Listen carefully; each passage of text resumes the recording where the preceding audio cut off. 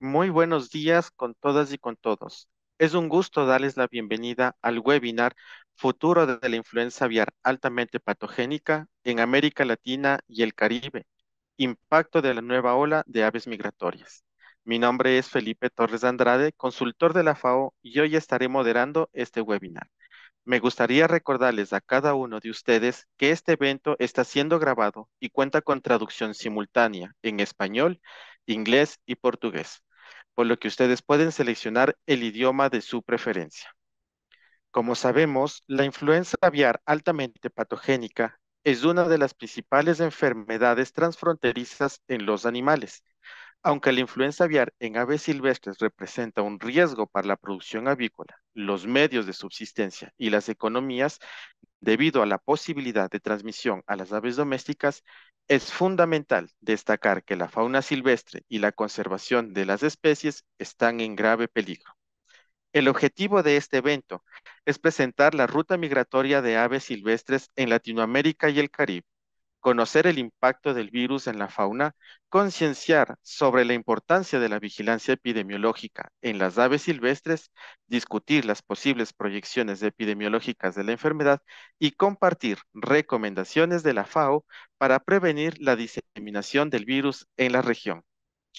Ahora me gustaría saludar especialmente a nuestros panelistas, colegas de la FAO y participantes de la región de Latinoamérica y el Caribe. Muchas gracias por estar con nosotros este día. Para comenzar, me gustaría explicar la dinámica de este webinar. Vamos a iniciar con unas palabras de bienvenida y de apertura por parte de Andrés González, oficial de Ganadería Sostenible, Sanidad Animal y Biodiversidad de FAO RLC. Luego vamos a tener la presentación que nos brindará Soledad Ruiz, investigadora de la Universidad Católica de Chile, quien realizará una presentación sobre patrones de movimiento de aves silvestres en América Latina y el Caribe. Posterior, Daniela Baptista, jefa de la División de Gestión de Planes de Vigilancia del Ministerio de Agricultura, Ganadería y Abastecimiento de Brasil, presentará la ponencia Vigilancia Epidemiológica en Aves Silvestres, la experiencia de Brasil. Posteriormente, Marcela Ujard, especialista en fauna silvestre del Instituto Una Salud de la Facultad de Ciencias Veterinarias de la Universidad de California, Davis, Estados Unidos, nos realizará una presentación sobre los impactos y desafíos de la influenza aviar altamente patogénica en la fauna silvestre. Luego tendremos la presentación de Christopher Hamilton West, profesor de la Universidad de Chile, quien nos hablará acerca de la proyección epidemiológica de la influenza aviar altamente patogénica en la región.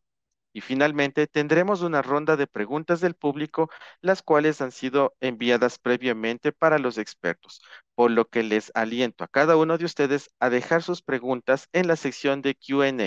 para poder nosotros gestionarlas y conversarlas en el respectivo foro. Para iniciar, me gustaría darle la palabra a Andrés González para que nos pueda dar las palabras de bienvenida del evento. Andrés, tienes la palabra. Muchísimas gracias, Felipe. Eh,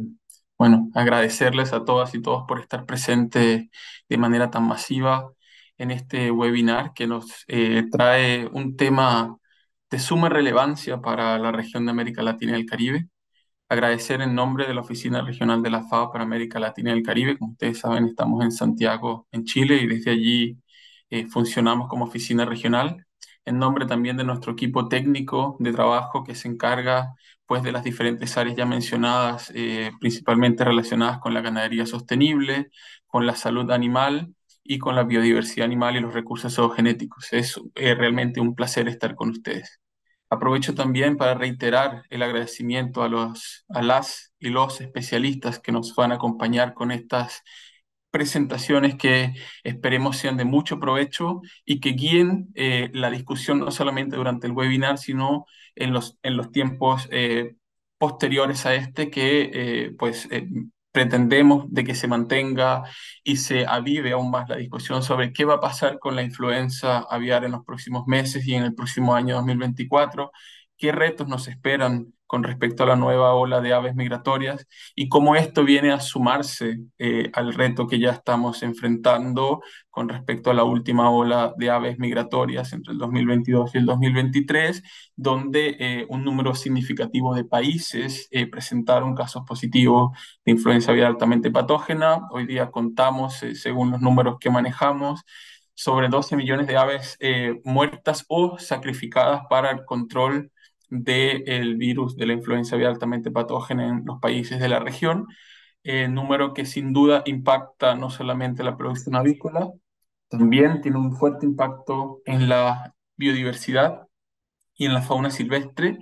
y a esto se suma pues eh, los casos en mamíferos, los casos en humanos que hemos tenido desgraciadamente. Entonces, ¿cómo estar mejor preparados y cómo interpretar esta información en pro de una mejor respuesta y de una mejor preparación al avenir, es el objetivo principal de este webinar. Por supuesto, acá también estamos eh, contando con el apoyo de eh, proyectos regionales que han permitido llevar a cabo las actividades técnicas que ustedes van a escuchar nombrar en alguna de las, de las ponencias que han tenido como objetivo apoyar a los países en esta respuesta a emergencia, tanto técnica, algunas veces financiera, y esto, eh, bueno, simplemente recordarles de que eh, es un trabajo que se lleva a cabo en plena coordinación y colaboración con, organismos, con otros organismos internacionales más allá de la FAO y que nosotros como FAO nos regimos 100% eh, por los acuerdos eh, liderados por el GFTATS de las Américas, el, el grupo o el marco para el control progresivo de las enfermedades transfronterizas de los animales, que es, eh, como ustedes bien saben, co-liderado por la FAO y por la Organización Mundial de Sanidad Animal, pero cuenta con la participación, el apoyo y eh, la, activa... Eh, la, activa colaboración de otros organismos internacionales y regionales. Entonces, esta estrategia ha sido acordada y consensuada por los organismos internacionales, por los servicios veterinarios de los países, servicios ambientales de los países, y es a esta a la cual nosotros nos apegamos como FAO para tratar de contribuir de manera coordinada a este eh, reciente problema de influenza aviar altamente patógena en nuestra región. Entonces, les deseo a todas y todas un excelente webinar. Esperemos que la experiencia sea productiva y provechosa para cada uno de nosotros y eh, adelante con las siguientes presentaciones. Muchas gracias. Muchas gracias, Andrés, por, por esas palabras. Vamos a dar ahora la palabra a Soledad Ruiz, quien iniciará la ronda de presentaciones con su presentación titulada Patrones de movimiento de aves silvestres en América Latina y el Caribe. Soledad tiene la palabra.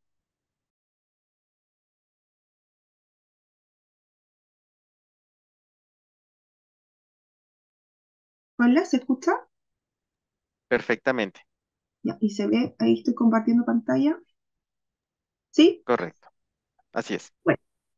eh, muy buenos días a todos y todas. Eh, yo hoy voy a hablar de los patrones de, de, migraciones o el movimiento de migraciones de aves silvestres en América Latina bajo este contexto de influenza aviar.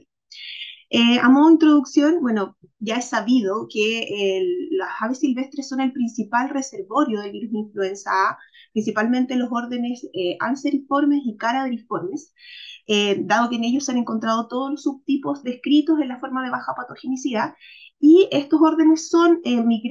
realizan migraciones o se caracterizan por realizar migraciones de larga distancia y por lo tanto em, pueden diseminar estos virus por largas distancias la diseminación viral de, o la diseminación de los virus de alta patogenicidad hace algún tiempo atrás esta, era medio controversial, no se sabía si efectivamente estas aves podían diseminar virus altamente patógenos, pero este, existió un cambio en el paradigma con la emergencia de este linaje eh, altamente patógeno H5 del clado 2, el cual se ha diseminado ampliamente eh, por el mundo ya eh, reportamos, ¿cierto?, la primera eh, ingreso de este virus a, el año 2014 a, América del Norte eh, por el estrecho de Bering y el actual virus que nos, nos está golpeando en este momento, que es el H5N1, ingresó también por aves migratorias, esta vez por la ruta de el, del Atlántico. Em, y el virus ha ido diseminando, ¿cierto?, por toda Latinoamérica y teniendo ya las repercusiones que ya conocemos. Entonces, antes de hablar de un poco de los patrones migratorios de las aves silvestres, em, es importante mencionar que, primero que decir que las migraciones son uno de los fenómenos más complejos de ser estudiados. Em, hay muchas especies que nidifican, ¿cierto?, en la región eh, de Alaska o del Ártico y migran eh, hacia Centroamérica y Sudamérica en época de invernada. Eh, para estas aves se han descrito cuatro corredores importantes que ya están, eh, o cuatro rutas migratorias principales que están bastante establecidas, que son la ruta del Pacífico, la ruta del, de central, central, la ruta del Mississippi y la ruta del Atlántico. Eh, si bien estas rutas están bien establecidas, pueden existir ciertas probabilidades de movimiento entre rutas. O sea, quiere decir que aves que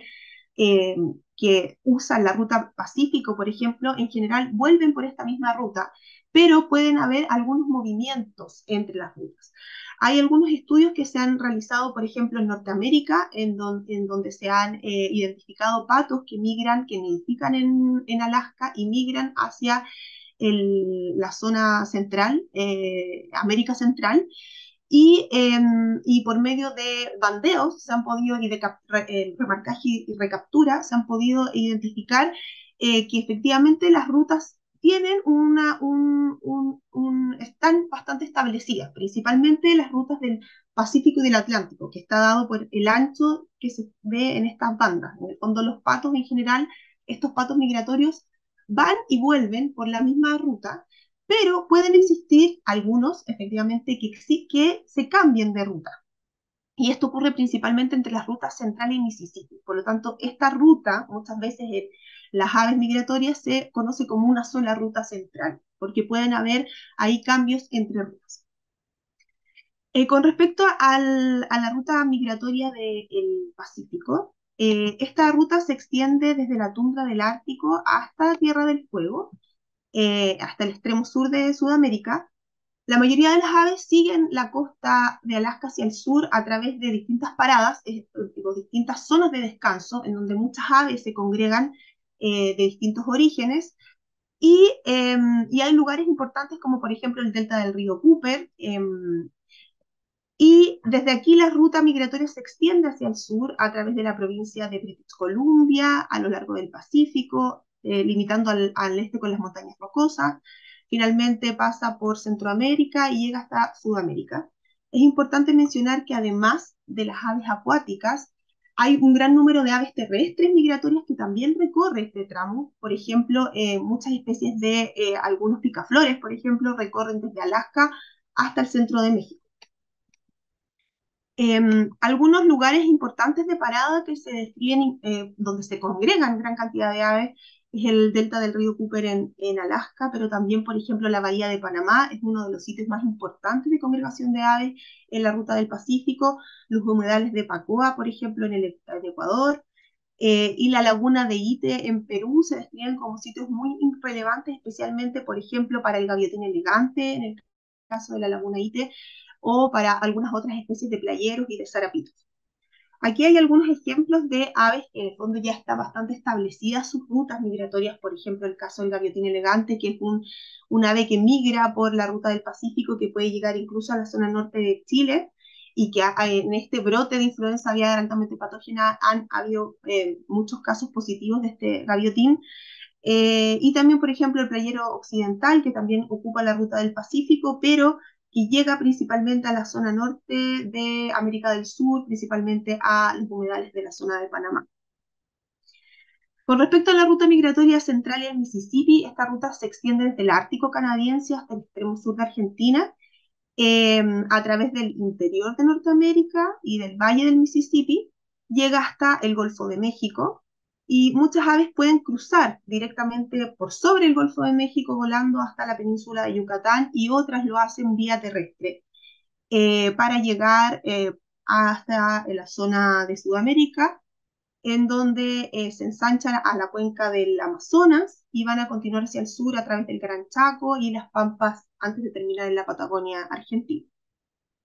Aquí también hay algunos sitios importantes eh, que se describen para esta ruta central de alta concentración de aves, como son la Sierra de las Minas en Guatemala, por ejemplo, los humedales de Huatuso en Nicaragua, y la zona de Paraná, del río Paraná, Paraná también es bastante importante para estas eh, rutas. Aquí hay un ejemplo de muchos de, los, de las aves que migran por esta ruta, que es por ejemplo el, playero canela, que eh, migra eh, desde el hemisferio norte pasando por la zona del Amazonas para llegar finalmente a, hasta Argentina, donde realiza su época de invernada. Y por último, la ruta migratoria del Atlántico es, eh, conecta el archipiélago ártico con el extremo sur de Sudamérica, con la Tierra del Fuego. Eh, estas aves pasan, las, cuando abandonan la zona de cría, pasan por hacia el sur, a través del noreste de Canadá, por la bahía de Hudson, hasta la costa este de, Estados Unidos, donde también hay bahías importantes. Eh, y muchas de estas aves de que migran por el Atlántico hacen sus lugares de invernada en Cuba, en la zona de Cuba y Puerto Rico,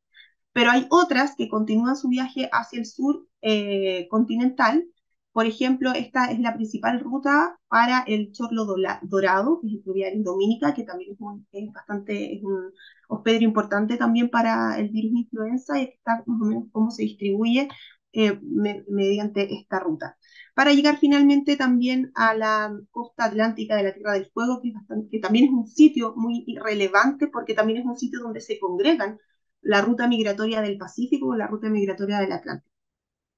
El sitio, también la zona de Guyana Francesa, también es un sitio importante de hibernada de muchas de estas aves que llegan a esta zona. Entonces, si bien, eh, bueno, las nuevas tecnologías, ya los, eh, digamos, el poder eh, rastrear el movimiento de las aves con redes de GPS ha permitido que estas grandes rutas migratorias las podamos identificar para muchas especies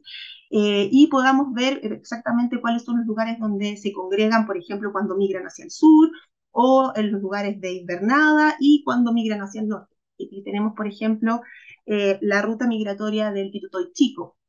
Eh, y, pero sin embargo, estos, patrones migratorios en otro tipo de rutas no están muy conocidos, que son principalmente las migraciones que ocurren en el neotrópico. Estas migraciones, eh, o, muchas aves en el fondo que se, que se mm, reproducen en el neotrópico, migran entre los países del trópico eh, y son movimientos que se realizan generalmente en distancias más bien cortas y son impulsadas por disponibilidad de alimento y factores climáticos. Se describen al menos cuatro movimientos migratorios anuales en aves que nidifican en, en el neotrópico. Eh, los principales movimientos son migraciones altitudinales, por ejemplo, movimientos que se dan entre zonas de cría de alta o baja altitud. Esto se da mucho, por ejemplo, en la cordillera de los Andes, en algunas especies, por ejemplo, de, em, de flamencos, en que nosotros podemos ver movimientos en distintas altitudes. También existe la migración austral, que son especies que nidifican en zonas, eh, digamos, templadas de América del Sur, pero eh, la zona de invernada la pasan hacia más cerca del Ecuador. Y eso es lo que se conoce como la migración eh, templada tropical, pero también hay un tipo de migración austral que se conoce como templada fría, que son aquellos especies que nidifican en zonas más frías y que efectivamente también migran hacia el norte, pero no traspasan el trópico de Capricornio. Y eh, también se describe la migración eh, longitudinal, que son aves que migran de este a oeste entre las zonas de cría y invernada, y es común, por ejemplo, en muchas aves acuáticas, muchas especies de patos, por ejemplo, eh, migran, en, hacen este tipo de migración longitudinal.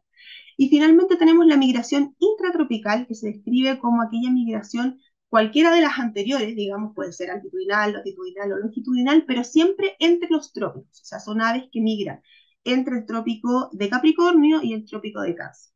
Si se fijan, todos estos movimientos van a hacer que efectivamente eh, pueda diseminarse el virus mucho más rápido. Ahora, estos, ¿cuáles son los impulsores de la migración de estos neotrópicos? Eh, principalmente tenemos varios impulsores, por ejemplo, la disponibilidad de alimentos, dado por las precipitaciones, eh, las temperaturas, la competencia por los recursos, por ejemplo, dormideros, disponibilidad de nido,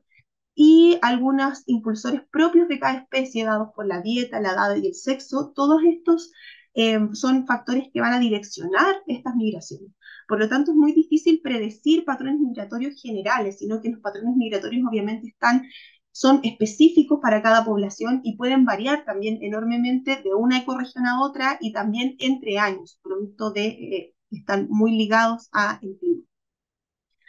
Ahora, ¿cuál es la importancia de las migraciones bajo el contexto de influenza aviar eh, altamente patógena? Nosotros ya hemos detectado, ¿cierto?, altas mortalidades de aves silvestres a lo, a lo largo de la ruta migratoria del Pacífico, lo que nos indica que efectivamente el virus, al parecer, fue diseminado por esta ruta eh, por alguna especie. Ahora, ¿cuáles especies fueron implicadas en esta diseminación? Es difícil saberlo. Eh, obviamente hay muchas especies que pueden ser, que son estos migrantes neotropicales que pueden haber diseminado el virus, pero como ya lo mencionamos, las migraciones neotropicales también son migraciones importantes y pueden haber muchas especies que estén diseminando el virus entre los países de Latinoamérica que no necesariamente sean estos migrantes neotropicales. Así también eh, lo mencionan, por ejemplo, algunos estudios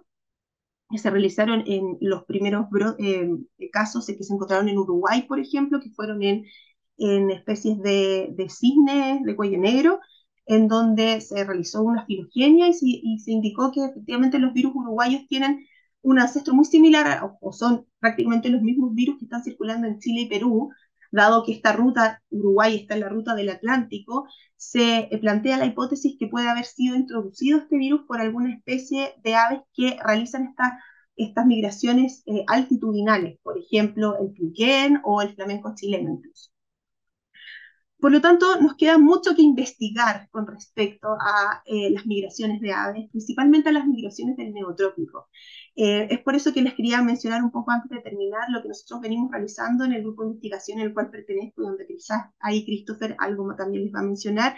que desde el año 2015 nosotros estamos realizando una vigilancia activa en principales humedales de Chile, eh, y eh, desde, ese año nosotros hemos eh, encontrado una gran, amplia diversidad de subtipos de virus influenza de baja patogenicidad que circulan además en una amplia diversidad de especies. Nosotros hacemos un muestreo ambiental, en donde tomamos heces de aves silvestres y por lo tanto estas muestras, nosotros las muestras positivas, hacemos barcoding para identificar los hospederos y hemos encontrado una amplia diversidad de hospederos y la gran mayoría de ellos son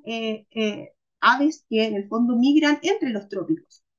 ¿Ya? Y dentro de los cuales el pato jercón chico y el pato jercón grande, por ejemplo, han sido los que hemos encontrado una mayor diversidad viral. Y son eh, aves en los que se desconoce sus patrones migratorios dentro del continente. Por lo tanto, como que me quería quedar un poco con esta idea de la importancia de profundizar estudios relacionados con esto y también mencionarles un poco que nosotros también empezamos a investigar un poco de factores ambientales que podrían estar condicionando estas prevalencias en los humedales que encontramos.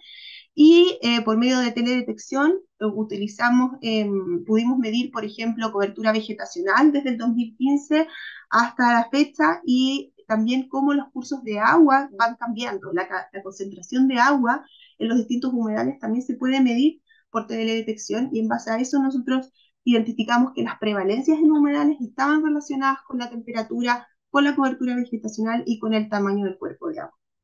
Por lo tanto,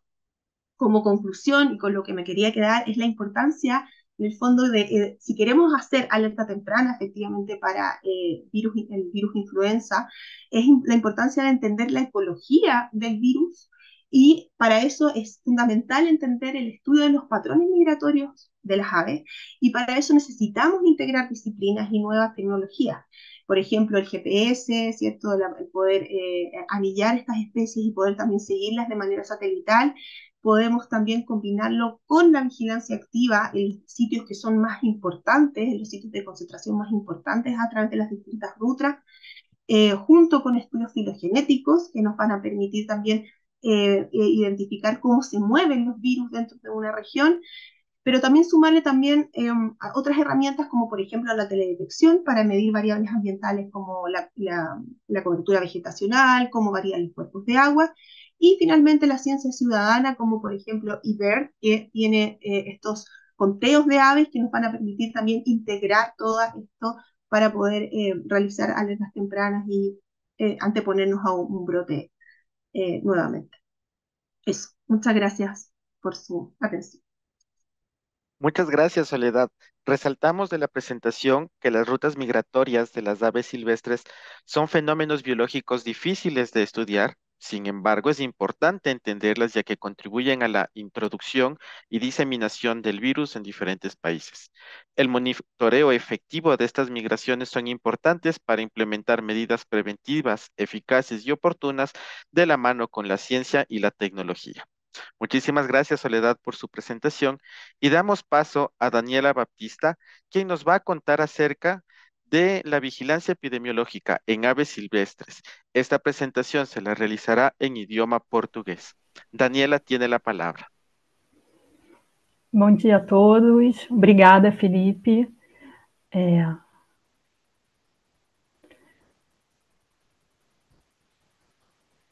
Deixa compartilhar.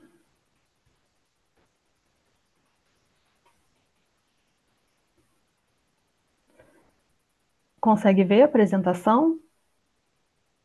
Se vê corretamente. Bom, então, bom dia a todos. É, eu queria agradecer a oportunidade né, da FAO para contar um pouco da experiência do Brasil na vigilância das aves silvestres.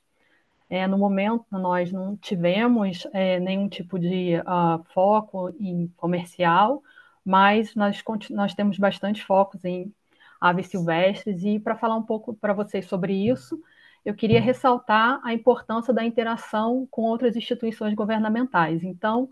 desde que começou essa grande onda né, é, da influenza aviária, com a disseminação por aves silvestres, nós reiteramos os nossos contatos, né, fortalecemos os nossos contatos com o Ministério do Meio Ambiente, com o Ministério da Saúde e com outros ministérios que também estão ajudando na, na parte da vigilância. Nós é, fizemos um novo plano é, uma nova estratégia para a vigilância da influenza aviária, que foi lançada em 2022, ainda num cenário de que não havia a doença no Brasil, e que nós chamamos outros atores também para nos ajudarem a, a, a, avaliar esse plano, né? E esse plano ele conta na parte de aves silvestres, basicamente com a parte de vigilância passiva. Então, para o nosso dia a dia, para o que a gente está vivendo hoje, essa integração, esse fortalecimento de relações foi muito importante. E a partir do momento que o Brasil teve é, a emergência sanitária, que foi em maio desse ano, né, que foi declarado pelo Ministério Emergência Sanitária, nós fortalecemos mais ainda criando um comitê interinstitucional onde participam né, com reuniões periódicas é, o Ministério da Agricultura, o Ministério da Saúde, o Ministério do Meio Ambiente e a Defesa Civil, já se programando talvez para uma ocorrência maior é, em aves comerciais, né, também, mas é, todas as dificuldades, todos os desafios, eles vêm sendo é, coordenados e estrategicamente é, conversados nesses comitês, tá, é, interinstitucionais. Para isso, a gente teve, é importante ressaltar que a nossa interação com o meio ambiente tanto antes como agora, foi muito importante. O Ministério do Meio Ambiente no Brasil, ele conta com duas instituições, que é o Instituto Chico Mendes, né, é, da biodiversidade. O Instituto Chico Mendes, ele faz o estudo das rotas de aves migratórias, então é, é, um grande parceiro que vem conversando com a gente. Ele tem todo um material onde há registro das aves migratórias do Brasil. Eles nos deram auxílio sobre as rotas de aves migratórias no Brasil. Então, é, tem sido um trabalho em conjunto. Eles também são responsáveis pelas unidades de conservação federal existentes no país, e é, em função da influenza aviária, eles estabeleceram protocolos de nível de segurança. Se essas unidades de conservação federal, por exemplo, que são, é, que são as, esses pontos verdes no mapa,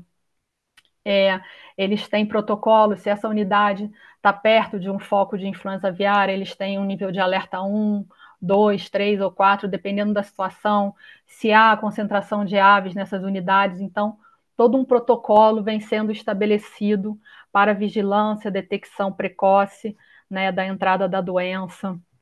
já há algum tempo antes dos nossos focos.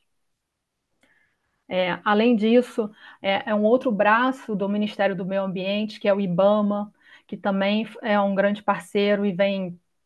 e, e o, o, IBAMA ele tem um projeto muito importante, que é um projeto que é condicionante a licenciamento ambiental para exploração de petróleo. Então, ele tem um projeto de monitoramento de praias em grande parte da costa do Brasil.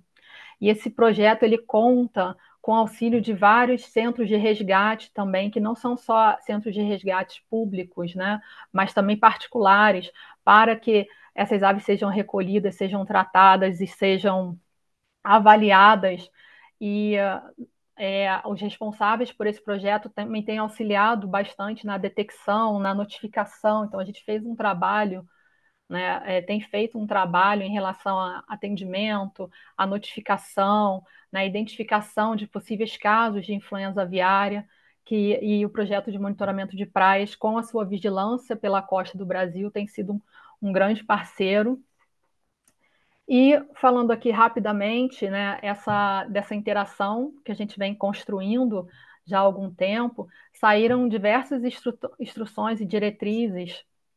né, a, para a investigação de casos de suspeitas prováveis, né, tanto em mamíferos quanto em aves silvestres. E é claro que essas orientações elas estão sendo revistas e elas estão sendo adaptadas conforme conforme os acontecimentos no Brasil, né? Porque a gente vem aprendendo bastante com os, com os focos de que nada, é, digamos assim, nada é, está é escrito em pedra, né? Como nós dizemos aqui no Brasil. A gente precisa, às vezes, adaptar as situações, mas nós fizemos, é, esses documentos são antes até dos nossos focos, é, nós fizemos várias orientações pensando no que poderia acontecer, né? E vamos adaptando conforme as situações vão acontecendo, tá?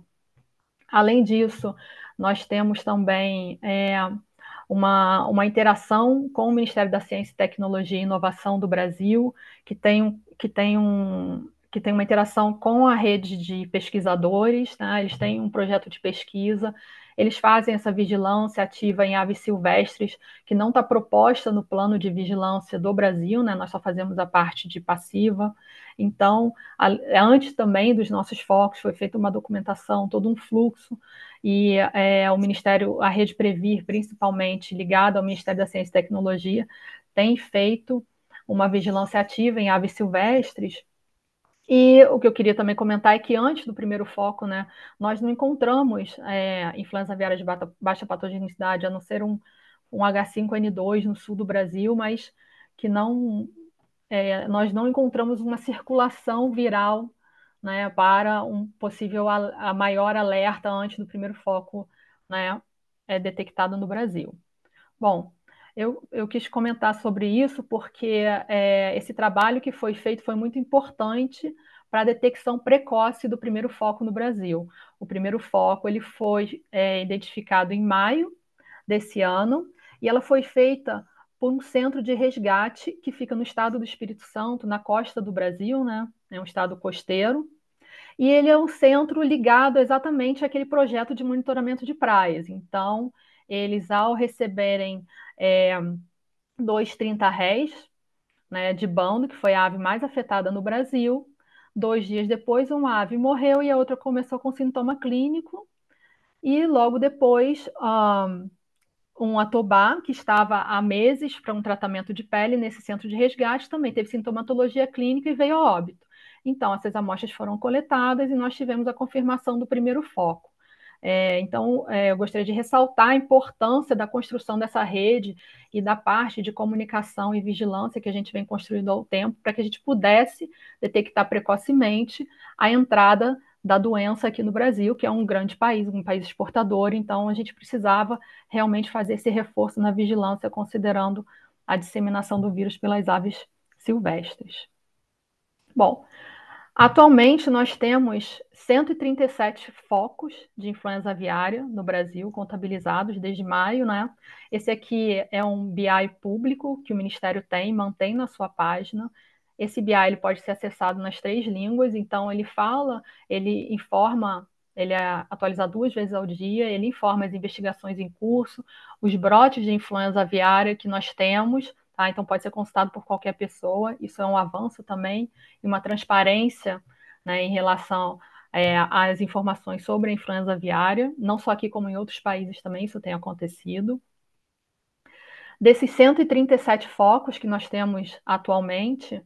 134 são espécies silvestres. E desses 134, 130 foram em aves silvestres. E dessas aves silvestres, 18 espécies foram afetadas sendo a principal dela o 30 Regi Bando, tá? que foi a ave que foi mais afetada.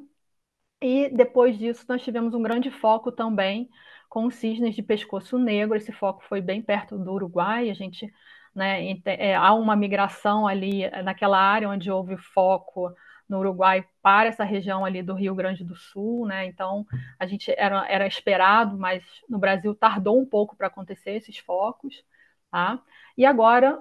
é, no início de outubro, lá de 3 de outubro, se eu não me engano, nós tivemos nossos primeiros focos em é, mamíferos marinhos. Então, atualmente nós temos quatro focos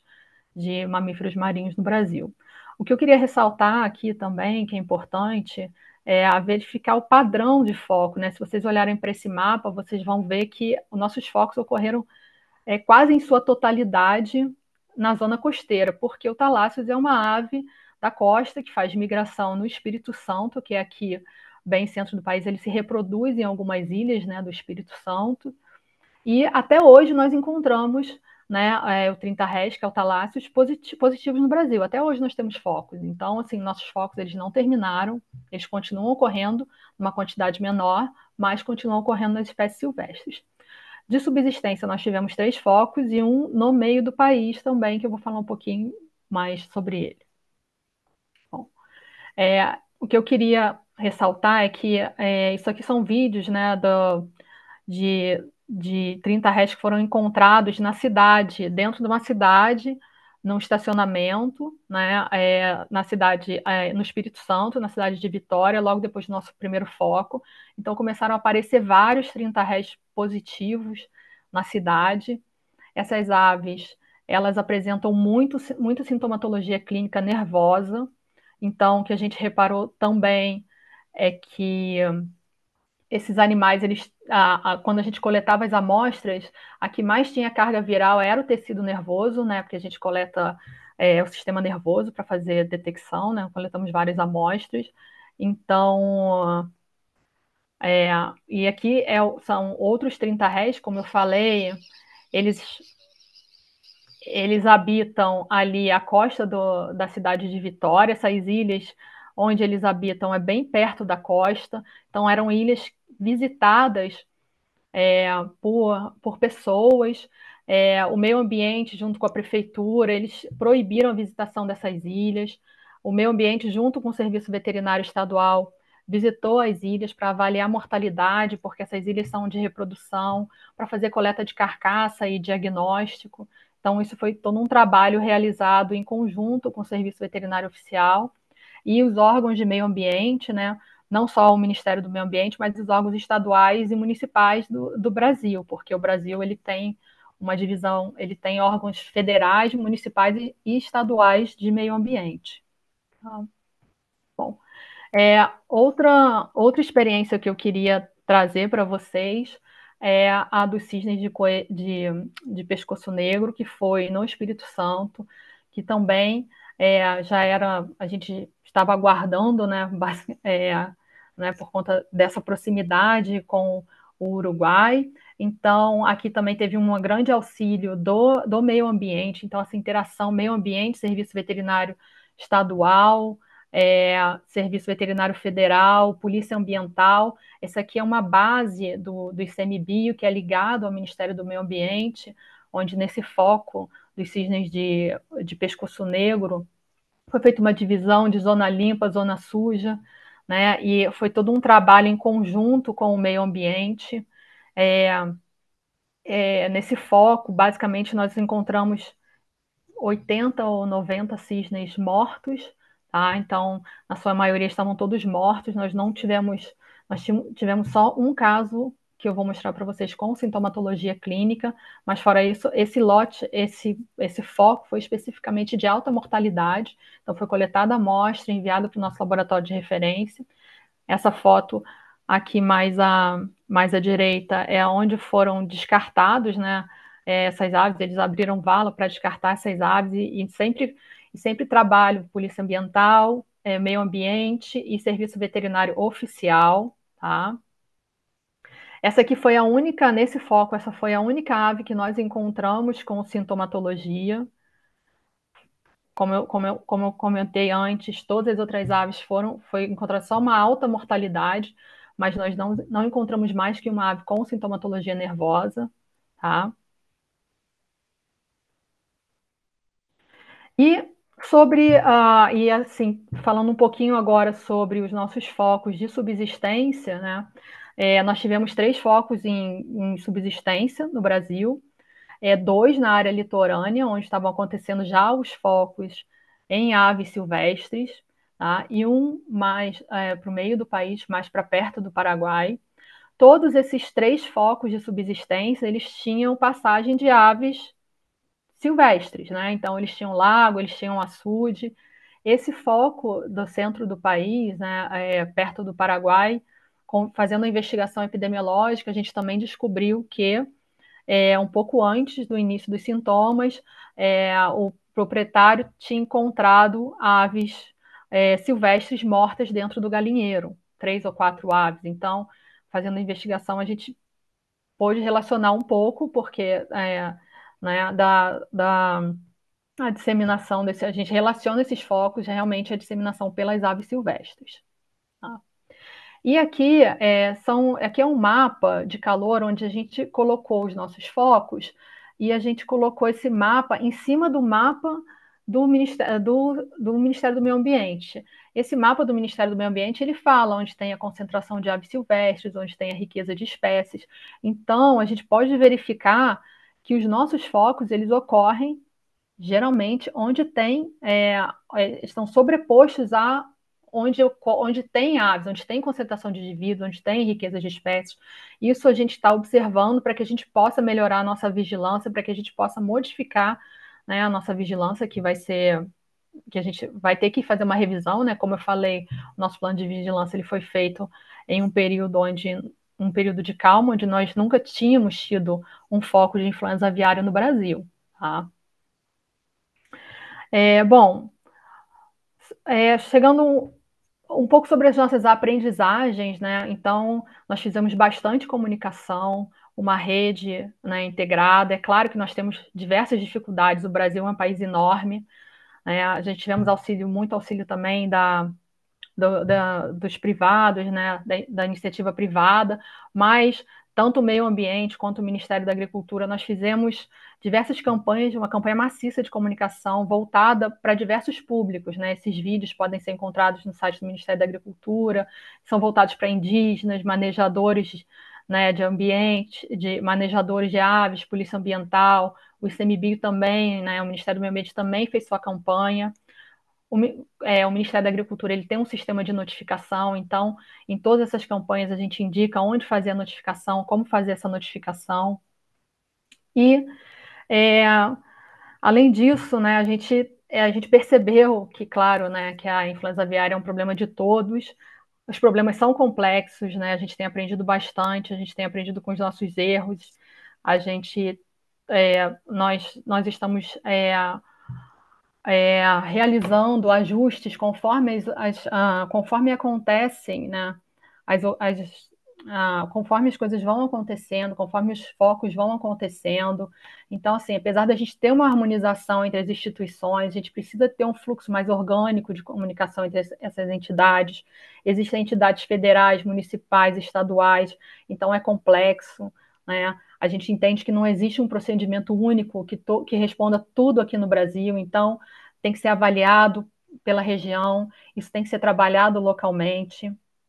Além do Ministério da Agricultura, o Brasil tem 27 serviços estaduais, né, veterinários estaduais, então é, a gente precisa fazer é, organizações locais para lidar com essa situação, né? A gente está adaptando nossos planos de contingência, as diretrizes que foram já feitas em um, em um outro cenário, né? Um trabalho contínuo, é desafiante, é um país muito grande, é um país que tem uma pecuária muito importante, né? na sua parte de produção avícola, tá? E em relação também às aves migratórias, a gente entendeu, né, porque foi uma surpresa para a gente o 30 Rés de bando, foi uma surpresa ter acontecido no meio do país, a gente estava esperando que entrasse pelo sul do país, então a gente precisa conhecer melhor essas rotas intrarregionais, as nossas espécies, as interações, porque apesar da gente ter outras espécies, a gente viu que o 30 res de bando é a espécie que foi mais afetada, né? E tem uma interação grande com algumas outras espécies.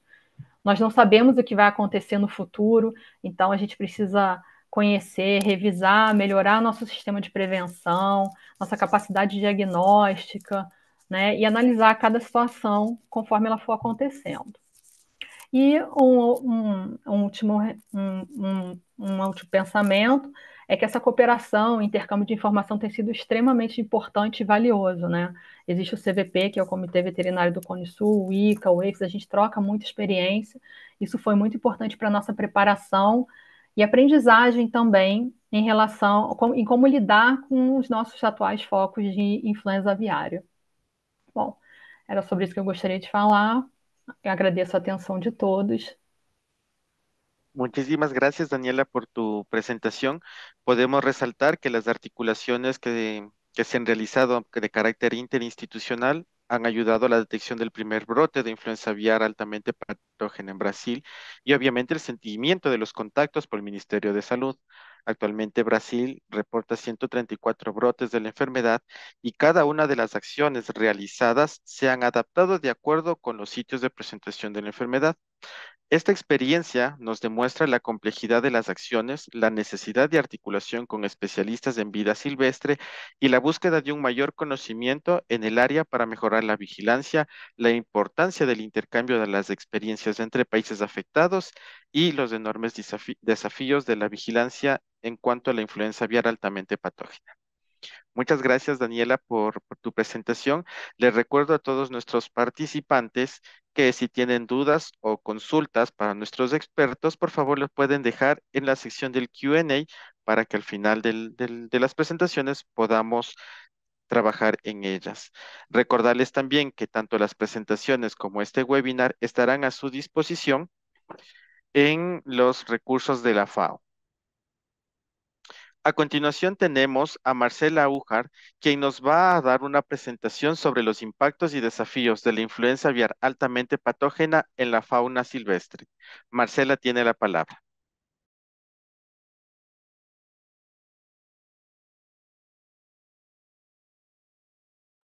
Ahí estamos. Me indica si está todo ok, por favor. Gracias. Todo se encuentra ok. Bueno, eh, Ahora yo no veo ok, eso es un problema. Eh,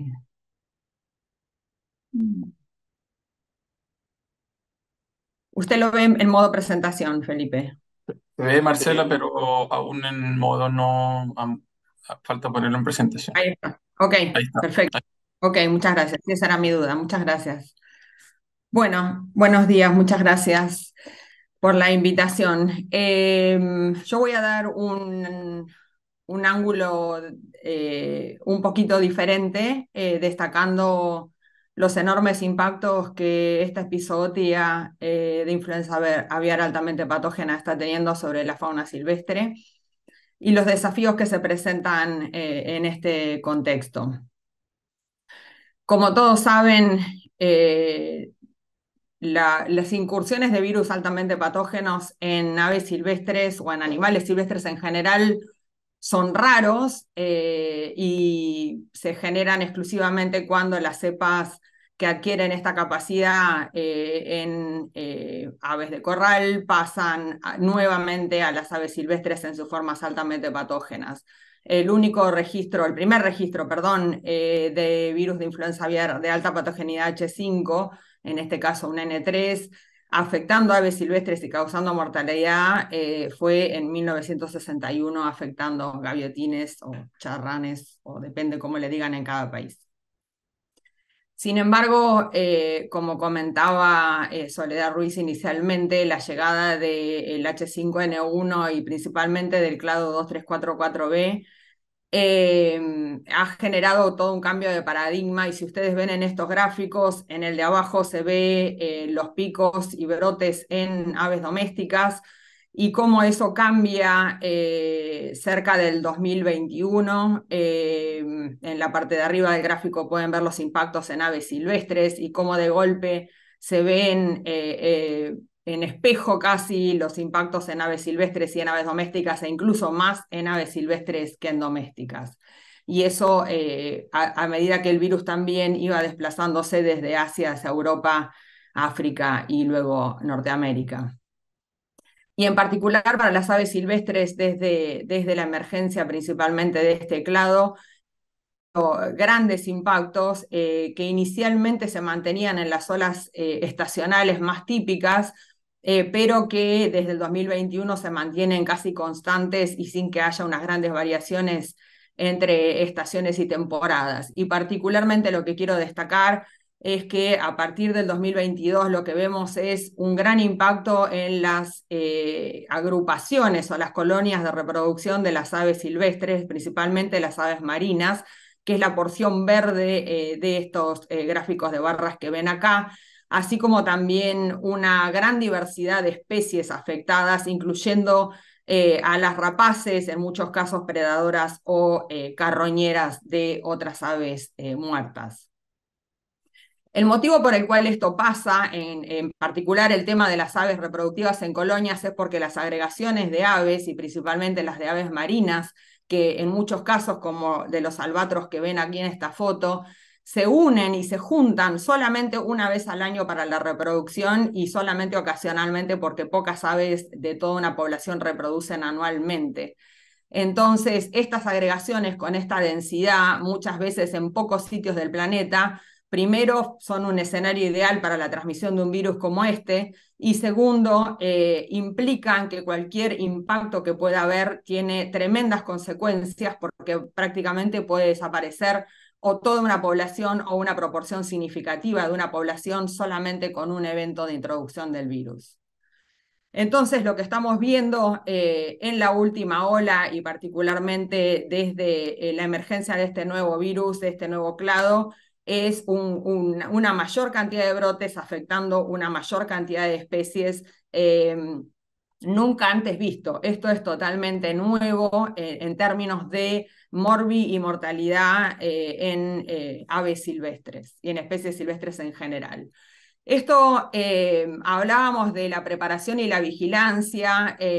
yo creo que en cierta forma tuvimos algunas alertas en Latinoamérica y el Caribe y no estuvimos al 100% de atentos que podríamos haber estado porque ya en Europa en el 2021 y 2022 hubo grandes impactos en muchas especies donde básicamente el virus afectó todas las colonias reproductivas casi de manera simultánea. Este es el caso de los alcatraces, por ejemplo, que muestro acá. También pasó con gaviotines.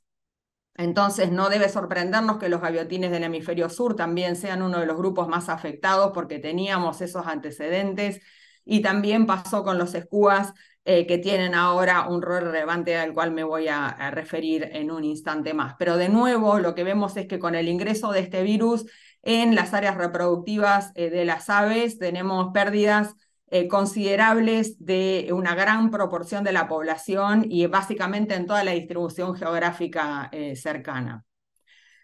Cuando el virus ingresa a Norteamérica y consecuentemente se desplaza hacia Sudamérica en la primavera del año pasado, en octubre, con la primera detección que se hace en Sudamérica, muy rápidamente sabemos que llegó hasta el extremo sur eh, del continente. Y eso eh, trajo por primera vez una gran cantidad de impactos con la primera introducción de un virus H5 eh, de alta patogenicidad en el, en el continente sudamericano y grandes impactos que hemos visto en las especies no solamente de aves, sino también de mamíferos marinos, como se vio en Perú y luego en Chile. Una cosa interesante de lo que pudimos evaluar en la caracterización que hicimos de los, de los eh, virus secuenciados en Perú eh, fue la caracterización de las múltiples introducciones que ocurrieron a Sudamérica y eh, con esto, más que entrar en detalles, porque pueden buscar los artículos, es destacarles que para mí, como han mencionado otros, la secuenciación y la caracterización de los virus que están circulando en Sudamérica es esencial porque no solamente para estar atentos a si efectivamente es la próxima ola de aves migratorias lo que va a generar un diferente escenario o eh, incluso cómo va variando el virus eh, que ahora tenemos en la medida que circula contra eh, otras y más especies.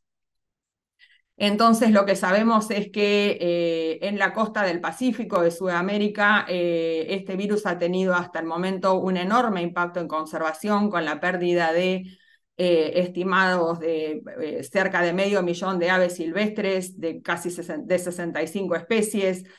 aproximadamente 20.000 mamíferos de 15 especies y eh, un gran número de especies afectadas en total, y en rojo aquí marqué todas aquellas que incluso ya están en estado delicado de conservación previo a la llegada del virus y las cuales eh, obviamente no tienen ningún eh, espacio o ningún buffer para recibir un impacto mayúsculo como puede representar la llegada de un virus con semejante nivel de letalidad. Incluso,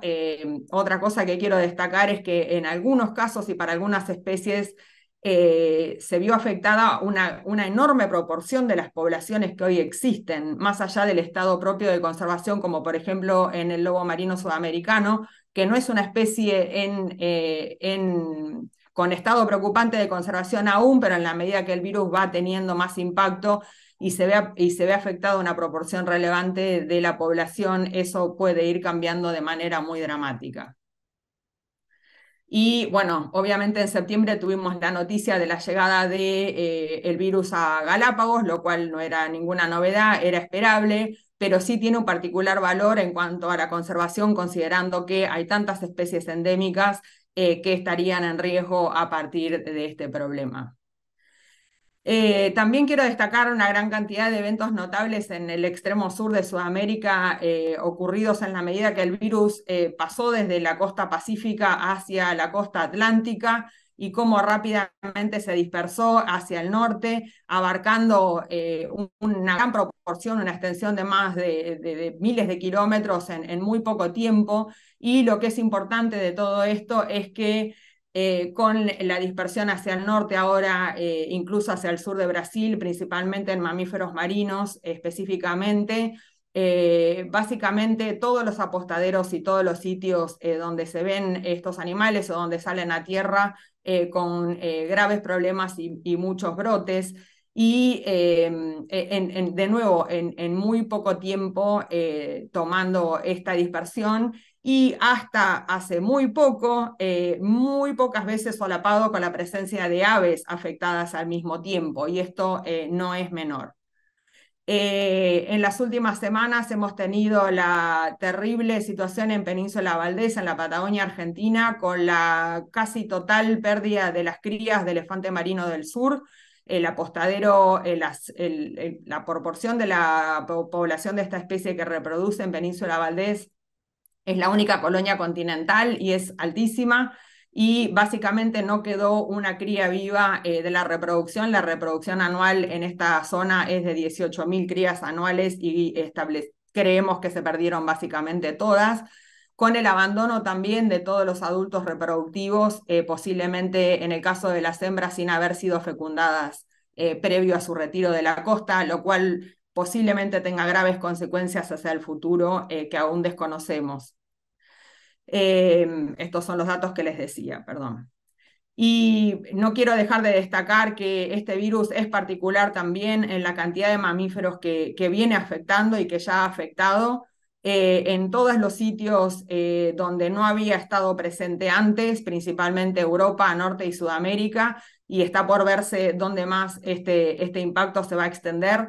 no solamente son, los eh, son principalmente carnívoros en todos los casos, sean ellos predadores o sean ellos de hábitos carroñeros.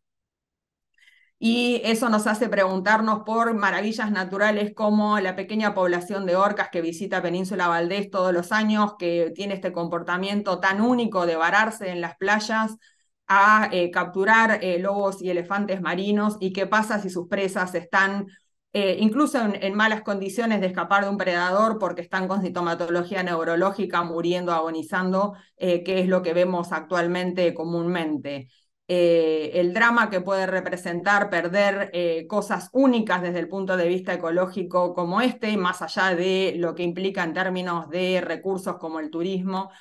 todavía no lo podemos medir y ayer justamente hubo un reporte de orcas comportándose inusualmente en un intento de cazar eh, elefantes marinos sintomáticos. Y vamos a ver qué, representa eso. Hace unos meses para el grupo de SCAR hicimos un eh, análisis de riesgo de introducción a Antártida, eh, considerando que básicamente hoy solamente Australia y Oceanía, una parte de Oceanía está libre del virus y la proximidad geográfica y ecológica que tiene el sur de Sudamérica con eh, las islas subantárticas y la península antártica principalmente, y destacamos esta zona que marco aquí como la de más alto riesgo en función de la ecología eh, de las especies eh, y la proximidad geográfica. Y justamente hace unos días se confirmó se confirmaron los primeros casos en escúas, que son estas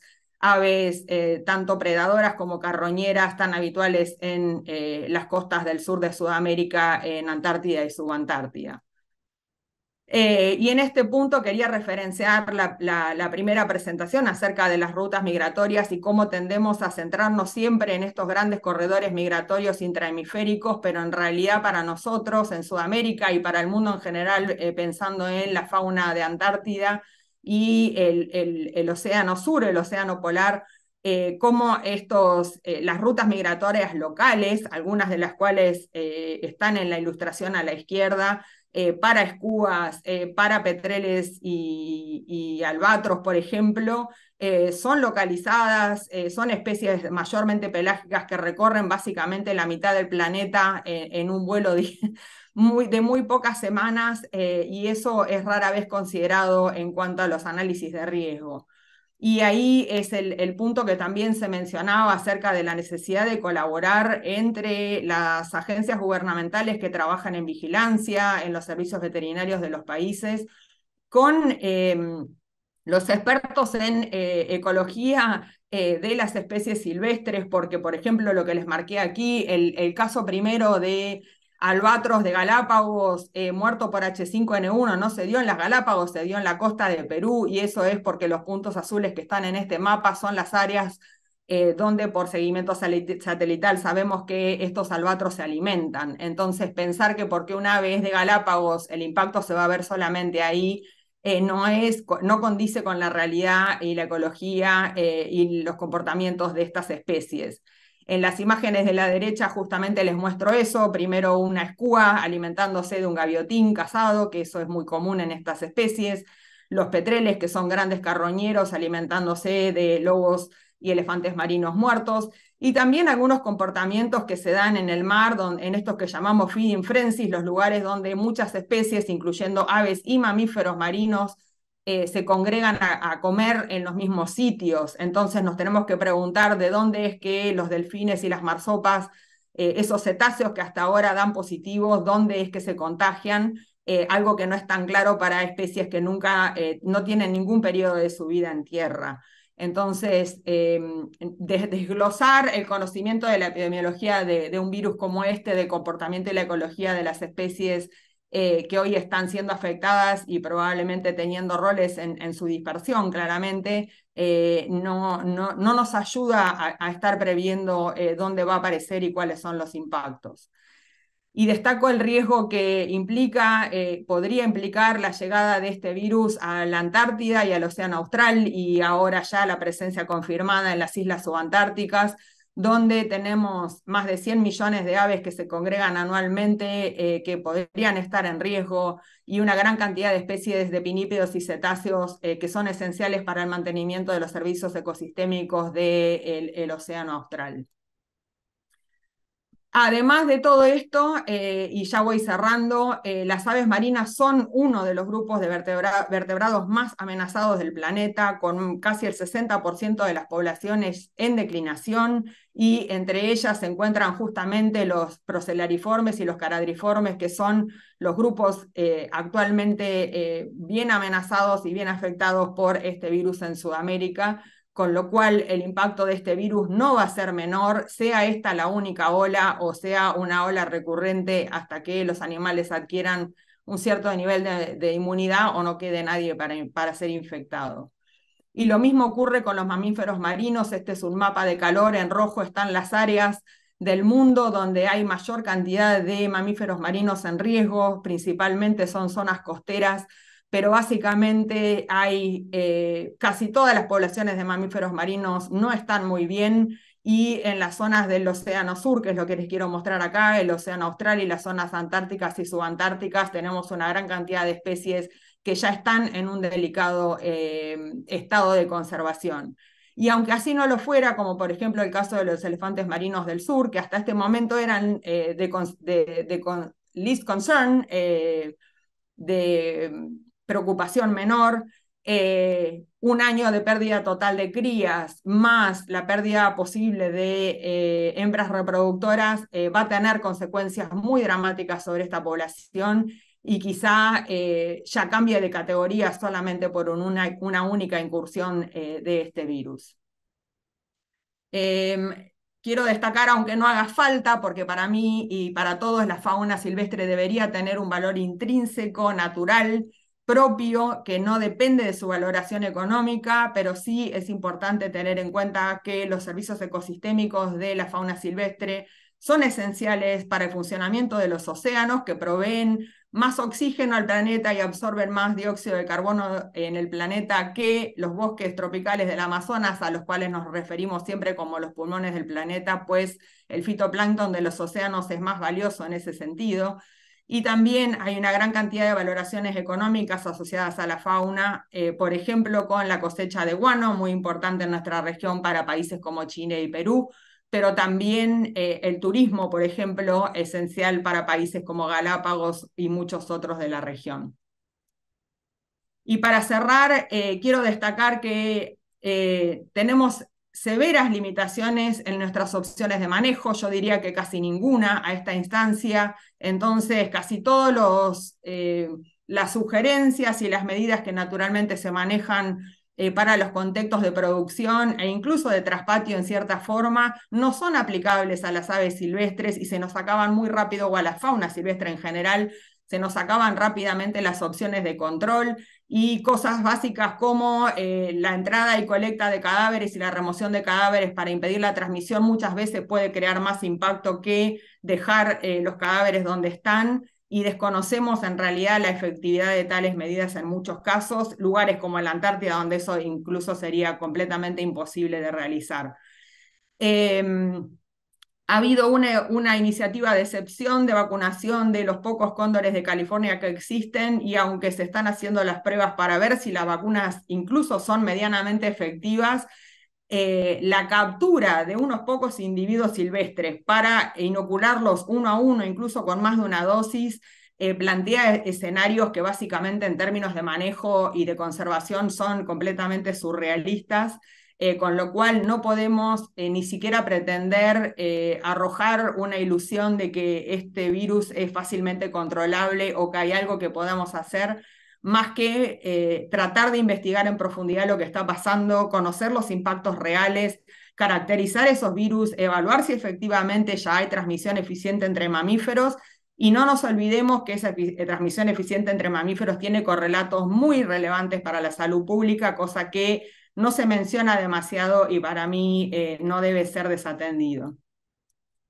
Y eh, como último mensaje quiero decir que me preocupa sobremanera que todos los escenarios que permiten la emergencia de virus como el actual persisten, que continuamos teniendo industria al lado de humedales y que eso nunca va a dejar de generar oportunidades para que estos virus vayan en todas las direcciones posibles y que cada tanto eh, abramos una caja de Pandora como la que tenemos hoy, cuyas consecuencias completamente por ahora desconocemos. Muchas gracias.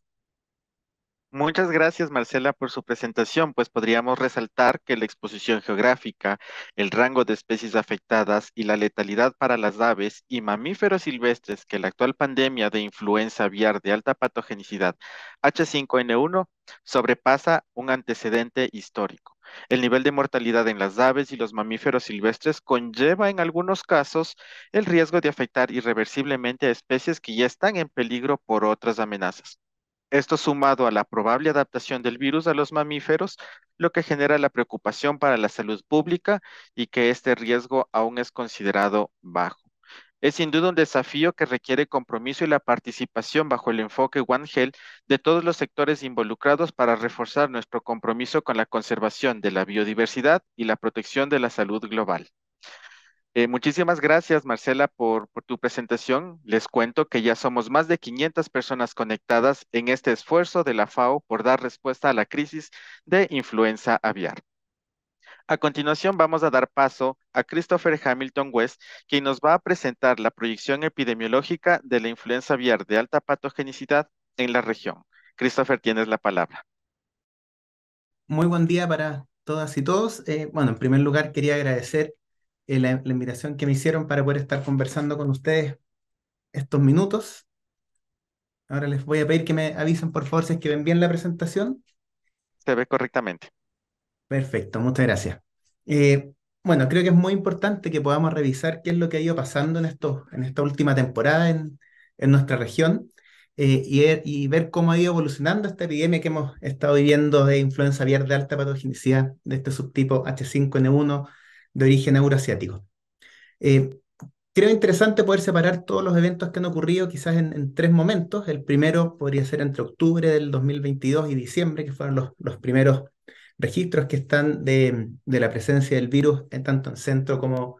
como en Sudamérica. Y podemos ver que los casos en ese momento se fueron presentando principalmente asociados a la, a la costa del Pacífico. Eh, algunos eventos se registran en Venezuela, en Colombia, Ecuador, Perú y Chile, llegando prácticamente hasta la mitad del, territorio de Chile y siempre moviéndose el virus desde norte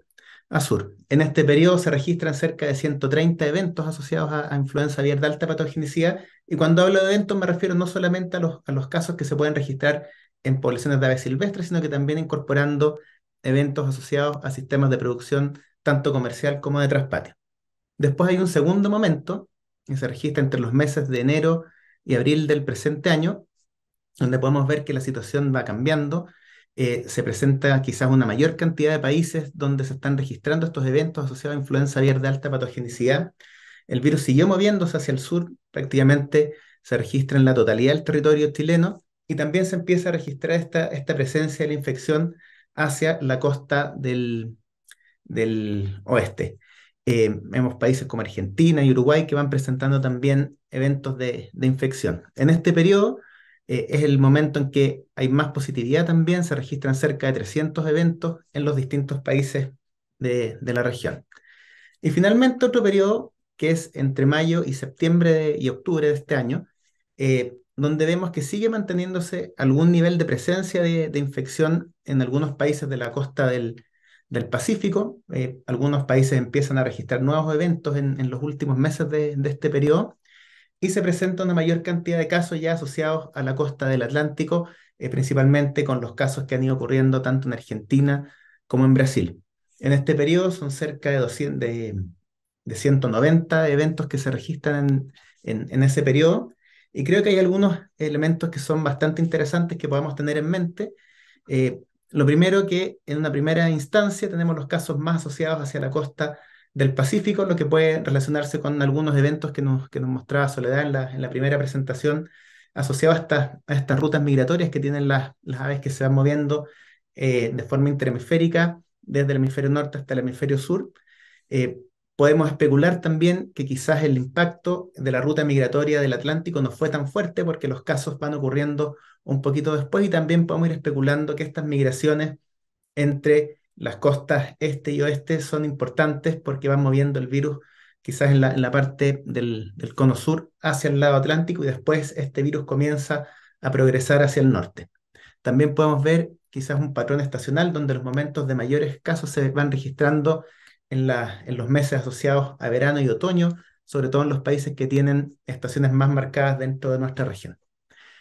Antes de continuar hablando sobre lo que ha pasado con esta epidemia, creo que es importante que veamos un par de, eventos asociados a, a, a, nuestro enemigo, este virus influenza, que se reconoce como una de las principales amenazas, no tanto para la salud animal, sino que también para la salud pública. Eh, ya hemos visto algo en las presentaciones previas de cómo estos virus se van manteniendo en circulación en los reservorios, que son especies de aves silvestres, que muchas veces se relacionan a cuerpos de agua y tienen estas conductas migratorias, pero también es interesante reconocer cómo algunos virus han podido eh, pasar a infectar a otras especies, incluyendo mamíferos, adaptarse a ellas, seguir circulando, y es como ahora podemos reconocer distintos virus de influenza que son propios de estas especies, por ejemplo, el virus de influenza porcina, virus de influenza equina, otros que afectan ya mamíferos marinos y también obviamente los virus de influenza A que afectan a las personas. Obviamente el mayor impacto que vemos en la parte de animal está asociado con estos virus que pueden generar casos de influenza aviar de alta patogenicidad que hasta el momento se restringen solamente a los subtipos H5 y H7. Pero también debemos reconocer todo el potencial zoonótico y pandémico que tienen estos virus, que es algo muy, muy relevante de mantener en, mente siempre, sobre todo cuando estamos viendo estos eventos de, de, de, ingreso de estos virus nuevos a distintas partes del mundo. Eh, ya hemos vivido en la historia de la humanidad distintas pandemias asociadas a virus influenza, y desde que emergen estos virus H5 y H7 que generan estos casos de influenza aviar de alta patogenicidad, obviamente esto toma mayor repercusión, mayor eh, conciencia a nivel internacional y se van destinando mayores esfuerzos a poder identificar tempranamente cualquier evento que vaya acercando a estos virus a poder generar infección y transmisión entre las personas, lo que nos podría dejar a puertas de una nueva situación pandémica. También al reconocer cómo estos virus influenza van circulando en esta forma de baja patogenicidad en las poblaciones de aves silvestres, también para nuestra región nosotros podíamos asumir que el gran riesgo era que estos virus de baja patogenicidad tomasen contacto con aves domésticas, se generara esta mutación puntual que permite que este virus pase y genere esta enfermedad de alta patogenicidad, eh, pero todo este contexto cambia desde que emergen estos virus de influenza aviar de alta patogenicidad en el sudeste asiático, que han ido evolucionando a lo largo de los años y se han podido ir manteniendo en algunas especies, o quizás en algunos individuos dentro de algunas especies de aves silvestres, que han propiciado esta diseminación global que han estado teniendo en los últimos años estos virus y causando estos eventos de, de epidemias en distintas regiones del mundo, podemos decir con una cierta ciclicidad. Cada tres, cuatro años se están generando eventos de epidemias en distintas partes del mundo asociados a estos virus de influenza aviar de alta patogenicidad de linaje euroasiático. Ya Soledad nos contó bastante de cómo el mundo está conectado por estas rutas migratorias importantes que van conectando distintos continentes, distintos hemisferios. Eh, y dentro de todo este contexto, quizás nosotros podemos decir que lo que estaba pasando en Sudamérica y Centroamérica eh, es, una, una de las mayores incógnitas porque es una de las partes del mundo donde menos investigación y menos esfuerzos habían hecho por conocer lo que pasa con los virus influenza Dentro de la actual epidemia también tenemos eventos que son bastante relevantes, como nos contaba Marcela en la presentación pasada, asociada a lo, que está pasando en distintas especies de fauna silvestre. Eh, y acá me quiero detener principalmente en eventos que han podido ocurrir con infección principalmente en, mamíferos que pueden estar en cautiverio, en zoológicos, y principalmente lo que ha pasado con estos eventos de mortalidades masivas de mamíferos marinos. Asimismo, es importante destacar los casos que han ocurrido en personas, tanto en Ecuador como en Chile, que debemos mantener dentro siempre de, nuestro radar por esta posibilidad de que el virus vaya adaptando más o adquiriendo más mutaciones que le permitan replicar mejor en células de mamíferos, en células de, humanos también, y acercarnos más quizás a una, posible pandemia. ¿Qué sabíamos en nuestra región previamente? Me voy a tener muy, brevemente en un par de resultados que hemos generado con nuestro grupo de investigación eh, nosotros hemos pasado más de 15 años estudiando lo que pasa con, estos virus, principalmente en la interfaz de aves silvestres y aves domésticas en los sistemas de producción de traspatio, pero hay bastante información relevante en, cómo se va desarrollando esta epidemiología de los virus en las, poblaciones de aves silvestres, al menos en, la zona del Cono Sur, principalmente en Chile. Eh, nosotros hemos podido identificar que existe una diversidad muy grande de virus influenza aviar circulando en las poblaciones de aves silvestres en nuestra región. Hemos podido identificar prácticamente toda la diversidad de virus influenza y tenemos también unos datos que son muy relevantes, por ejemplo, que estos virus van circulando durante todo el año en nuestro territorio y tenemos también una estacionalidad, unos momentos de mayor eh, nivel de prevalencia que está asociado justamente a los meses de verano y otoño, que también es lo que hemos visto con esta cantidad de casos que se iban desarrollando en la región de la epidemia del H5N1. También, como mencionaba Soledad, hemos explorado algunas variables relacionadas con las condiciones ambientales que, pueden propiciar estos, estos momentos de mayor prevalencia, donde las condiciones ambientales son extremadamente relevantes y debemos estar atentos, sobre todo en este contexto, que ya no hablamos de las tendencias sobre el cambio climático, sino que estamos viendo los efectos de él en los países de nuestra región. Asimismo, otros elementos importantes que hemos podido identificar es que muchos de estos virus que nosotros hemos identificado acá en las poblaciones de aves silvestres en Chile, son virus que ya se van diferenciando de los, de los virus que han evolucionado en otras partes del mundo y podemos hablar con bastante certeza de la presencia de virus de linaje sudamericano.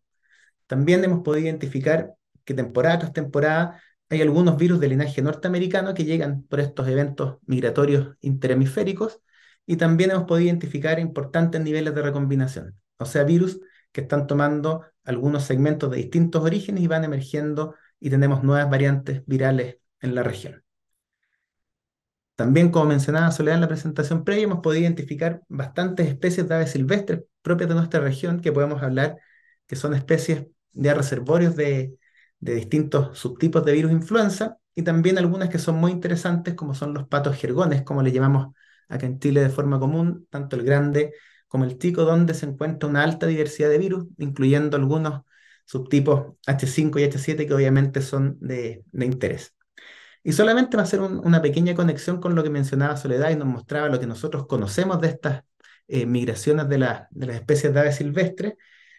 si bien hay un conocimiento que puede ser un poquito mayor en lo que pasa en estas grandes rutas migratorias, nosotros tenemos un, eh, gran gap de, de, conocimiento, lo que pasa con muchas especies que son endémicas de la región, que nosotros las identificamos en varios países. Por ejemplo, estos son los patos jergones, el grande y chico, eh, donde nosotros conocemos quizás de buena forma su distribución geográfica, donde podemos encontrar estas especies, pero no sabemos cuál es la conectividad que ellas van generando. No sabemos si los mismos individuos los vamos a encontrar, por ejemplo, en territorio chileno, son los que están pasando a Argentina o son colonias independientes. Entonces, estos son elementos que son muy importantes y que nos pueden ayudar a entender cómo estos virus y también todos los virus que van circulando en el linaje sudamericano pueden ir moviéndose por distintas zonas de nuestro territorio. Ahora también creo que es interesante que podamos ver un poquito lo que ha pasado en esta última temporada y entender eh, cómo es que se van dando estos eventos de movimiento de los virus de influenza aviar, eh, tanto de llegada hasta nuestro continente, considerando también obviamente Norteamérica, y cómo han ido bajando hacia Sudamérica. Estos movimientos intercontinentales, principalmente la zona de Eurasia hacia el continente americano, no son un evento frecuente. Eh, hasta, hasta el año pasado había un par de registros solamente, el primero de un virus H5N8, que llega también a, Norteamérica, generando casos de, infección de enfermedad tanto en Estados Unidos como a Canadá. Eso es un virus que llega por la migración de, aves silvestres por la ruta que conecta el, Pacífico Norte de, Norteamérica, mientras que en la temporada pasada se registra este evento de influenza aviar de alta patogenicidad por el virus H5N1 que llega por la costa del Atlántico.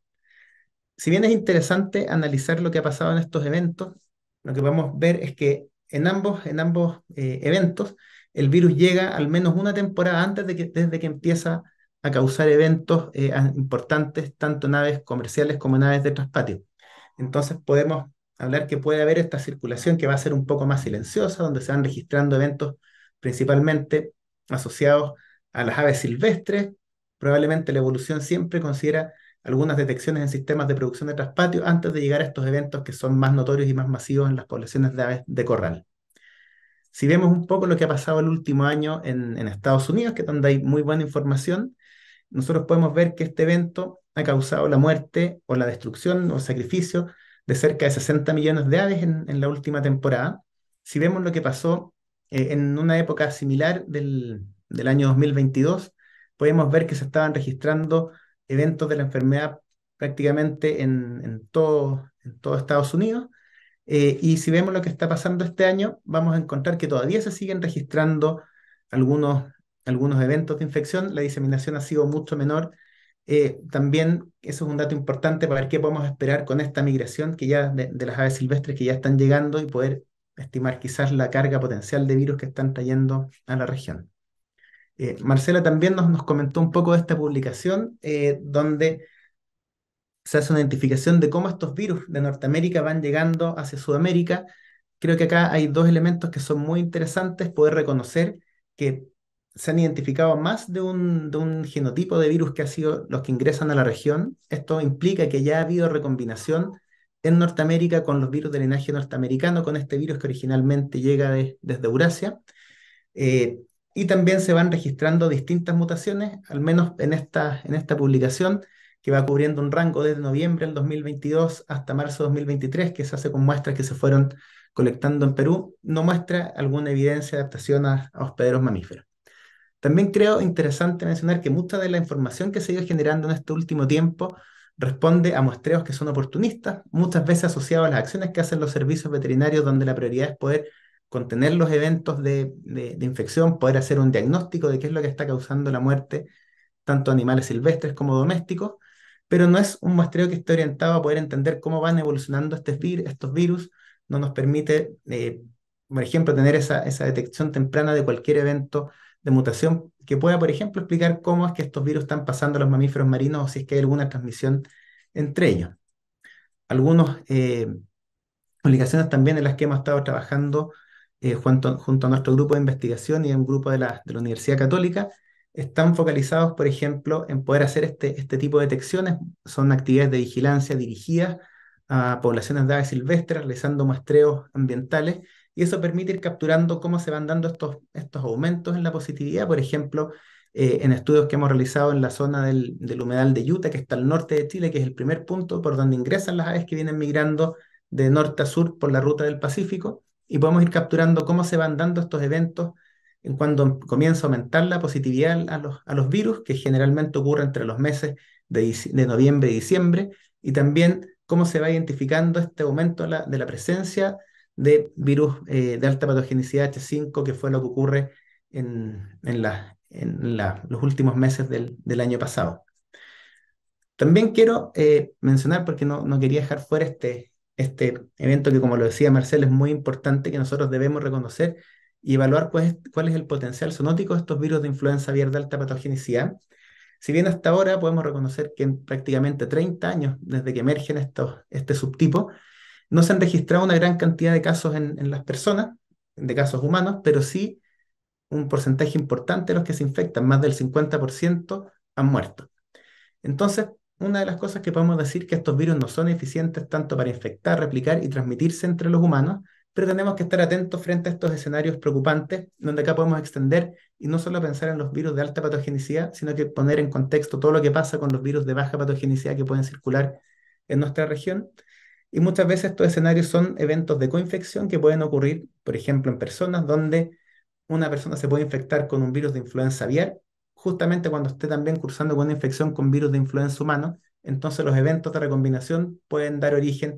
a nuevos subtipos, a nuevas variantes virales que puedan tener un mayor potencial eh, impacto en la salud de las personas y que se puedan transmitir entre ellas. Lo mismo puede pasar cuando pensamos en algunas poblaciones de mamíferos. Generalmente había un foco importante en lo que puede pasar con las poblaciones de cerdos, ya que tienen receptores que le permiten infectarse con distintos tipos virales de distintos orígenes y se asumen como un tipo de recipiente de, mezcla para la emergencia de nuevas variantes virales. Pero con lo que estamos viendo, no solamente acá en, Sudamérica, sino que en otros países de, del mundo, es importante ver qué otras especies pueden ser relevantes, como podríamos pensar los mamíferos marinos, u otras especies que se puedan mantener en, en producción, donde puede haber esta coinfección con virus eh, de distintos orígenes y emerge una variante nueva. Y el otro escenario obviamente está relacionado con esta infección, adaptación y mutaciones puntuales que pueden ir teniendo los, los virus de, de influenza aviar, y se pueden desarrollar algunas mutaciones que le permitan transmitirse entre mamíferos, como se ha visto con algunos virus del subtipo H10N7. Y dentro de los últimos eventos relevantes que se han ido registrando, obviamente está este caso que ocurre en Europa, en un criadero de bisones, donde se detecta una mutación que permitiría una mejor transmisión en mamíferos, pero se asume que este virus logró ser contenido y erradicado dentro de ese criadero. Y obviamente son muy importantes todas estas infecciones que estamos viendo eh, de mamíferos marinos en la región. Como decía Marcelo también, es muy importante poder tener disponibilidad de información para, para ir viendo qué es lo que pasa con, con este escenario. Uno de los datos importantes es cómo se han ido liberando las secuencias aisladas de los distintos países. Acá me interesa solamente el dato, esta es una diapositiva que está actualizada a fines del mes de agosto, pero no hay mucha información disponible en nuestra región, principalmente los datos vienen de Chile y Perú con más del 70% de eh, los, los genomas que están disponibles en las bases de datos globales pero el dato importante es cuánto han demorado en poder compartir esta información en promedio casi 140 días, lo que no permite poder ir detectando algunos eventos que son relevantes y sobre todo requieren ir analizando datos de distintos orígenes. Esto, por ejemplo, cuando nosotros empezamos a revisar qué es lo que pasa con, con, estos virus, podemos identificar que algunas mutaciones que se han detectado en el virus que afectó a la persona acá en Chile están presentes en algunas muestras de mamíferos marinos y esas, justamente esas mutaciones permitirían una mejor replicación en células de mamíferos. Y llegando a la proyección epidemiológica para nuestra región, creo que es importante reconocer que nosotros eh, en, Sudamérica podemos identificar la presencia regular tanto de virus de linaje sudamericano como virus de linaje norteamericano. A esto le sumamos la presencia de estos virus de linaje euroasiático que han llegado en la última temporada y que pueden quizás llegar con mayor frecuencia en los próximos años, eh, que van a estar presentes en estos sitios donde se concentran distintas especies de aves silvestres y podemos tener estos eventos de recombinación que permitan la emergencia de nuevos subtipos virales y todos estos obviamente van a significar un riesgo por su posible transmisión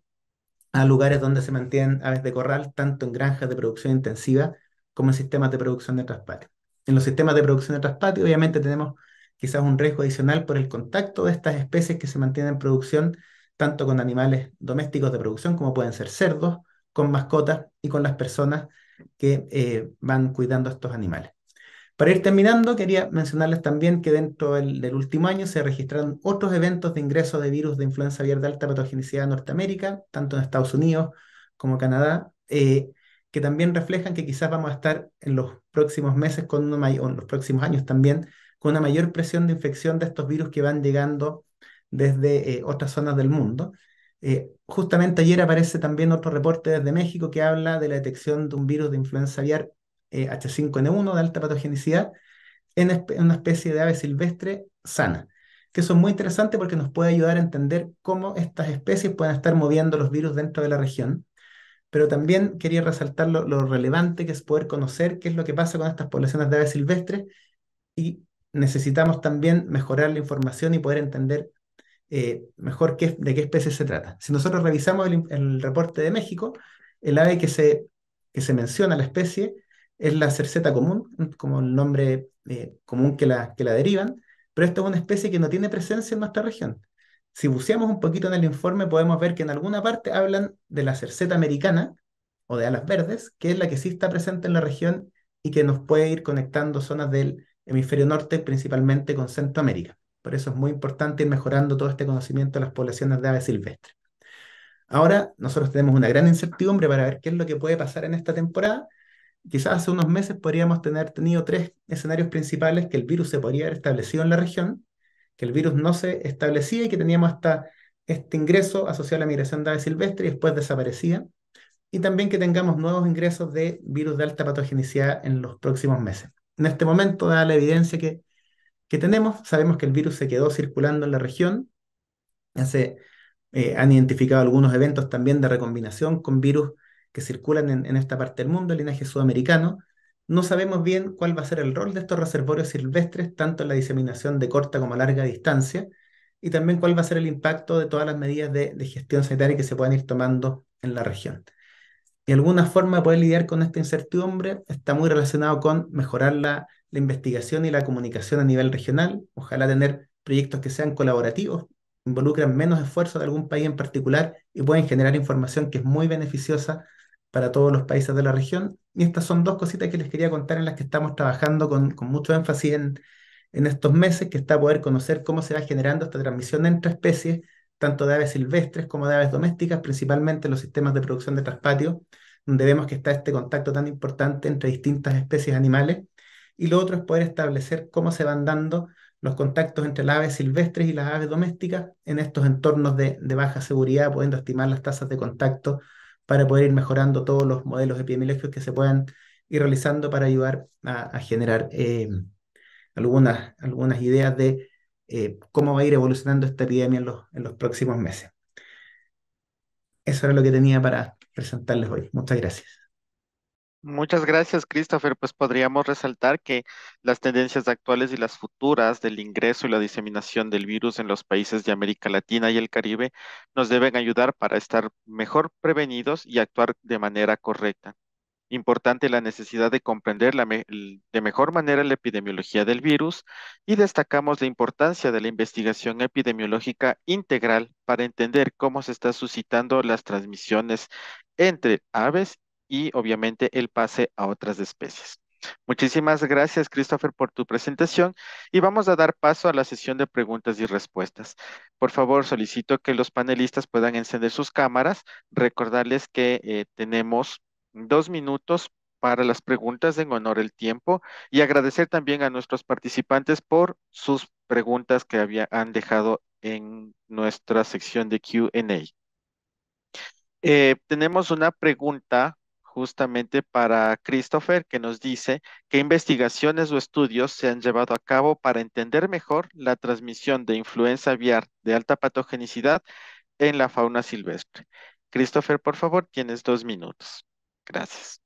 Muchas gracias. Eh, bueno, si nosotros vemos un poco lo que se ha ido publicando en los, últimos meses, como les decía, muchas veces responde, este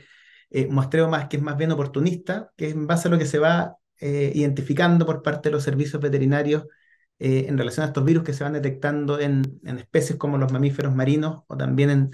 en, poblaciones de aves silvestres. Eh,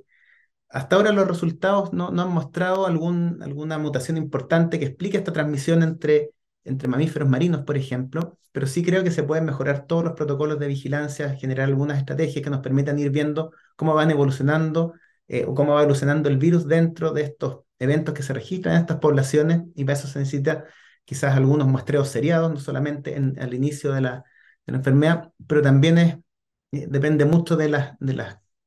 condiciones que se estén presentando, porque obviamente una de las prioridades para los servicios veterinarios es poder contener y eliminar estas fuentes de, infección. Eh, tengo entendido también que en varios países se están levantando algunos fondos de investigación, pero estos son eh, proyectos que van a generar resultados a, futuro, entonces en este momento no tenemos mucha, mucha más información. Gracias. Muchas gracias, Christopher, por, por tu respuesta. Tenemos una pregunta que es para todos los panelistas, por lo tanto, por favor, voy a ir dando la palabra, recordar el tiempo. Tenemos una pregunta que nos dice, ¿qué diferencias han visto hasta ahora en Unión Europea, Estados Unidos, Canadá y México comparado con la temporada pasada? Al respecto de los patrones migratorios, la presencia clínica de la influenza aviar de alta patogenicidad y la caracterización molecular de la misma. Vamos a empezar eh, con Soledad, por favor. Bueno, eh, con respecto como a los patrones migratorios, en realidad em, e, es como difícil como comparar en fondo lo que está pasando porque claramente los patrones migratorios también van cambiando año a año, que es un poco como lo conversamos. Está muy relacionado con condiciones ambientales, por ejemplo, eh, incluso con el fenómeno del niño, por ejemplo, que es un fenómeno importante que afecta a nuestra región. Entonces se ha demostrado que, por ejemplo, esto también es varía entre las especies. Entonces también es como difícil como decir los patrones migratorios se mantienen igual o son distintos porque varían entre especies y varían también en, en, base a estos factores climáticos que afectan también a nuestra región de distinta manera. Por ejemplo, partimos el año, este año con, con, con el niño y después pasamos a la niña y en el fondo en algunas regiones, eh, por ejemplo cerca de, de, México, em, la niña produce... Em, o el niño produce más sequías, por ejemplo, y en el sur produce eh, más precipitaciones. Por lo tanto, eso, todos esos factores van a hacer que las aves se muevan de manera diferente y, es difícil en el fondo entonces hacer como un comparativo entre dos temporadas, como que no es tan fácil, la verdad. Muchas gracias, Soledad. Eh, Marcela, tal vez si tú nos, nos das tu respuesta. Sí, en, en, realidad no,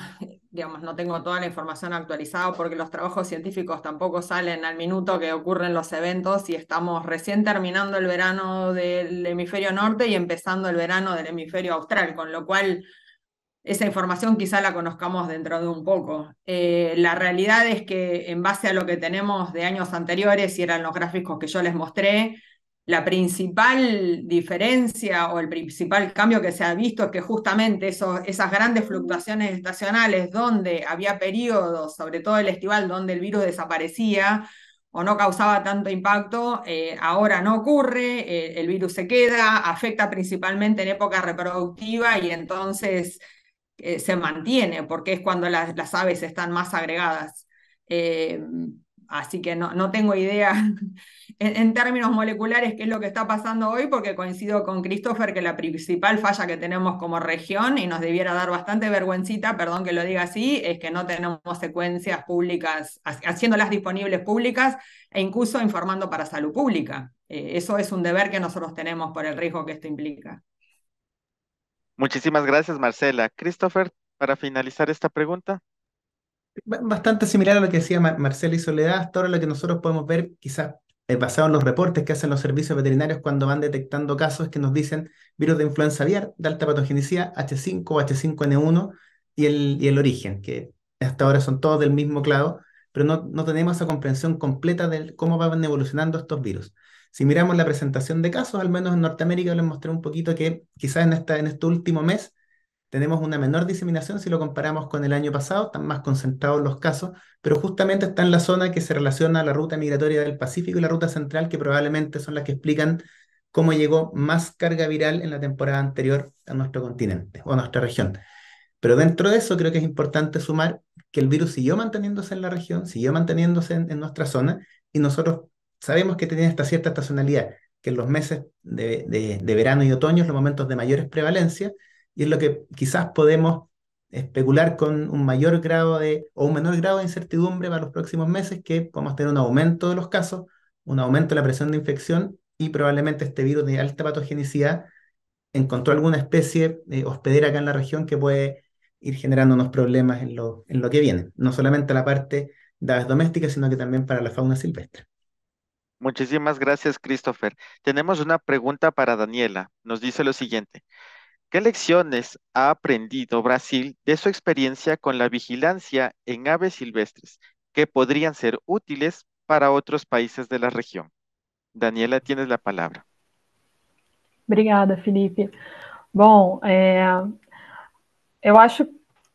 a gente entende né, que é importante essa cooperação. Né? O Serviço Veterinário Oficial ele sempre foi preparado para atender a parte de aves comerciais. Então, a parte de ave silvestre, ela realmente veio trazendo um novo desafio. E é inviável, né? não, não é possível que o serviço lide com isso sem a cooperação tanto de expertos como de outros órgãos de meio ambiente ou de outras pessoas, porque a gente não sabe o que, que vai acontecer. É, como eu disse na minha apresentação, as aves seguem morrendo, aves silvestres seguem morrendo. Então, nós vimos, por exemplo, nos Estados Unidos, que quando eles tiveram focos de influenza aviária, em, em, em, muitos estados, 49 estados. Então, assim, o serviço veterinário ele precisa recorrer a esses estados, e se a gente continuar tendo também aves silvestres, a gente precisa buscar essa parceria, a gente precisa buscar o auxílio, conversar mais e, e avaliar as nossas ações em relação à vigilância, ao atendimento desses focos também em aves silvestres, ou em mamíferos,